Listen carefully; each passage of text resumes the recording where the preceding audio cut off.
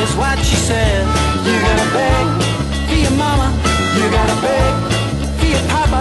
You gotta beg for your sister. You gotta beg.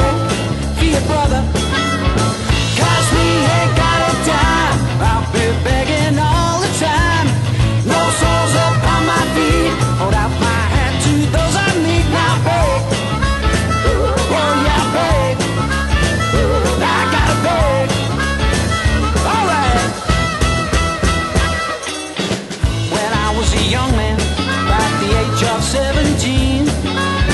My father sat me down and he said to me, You gotta beg for your ransom.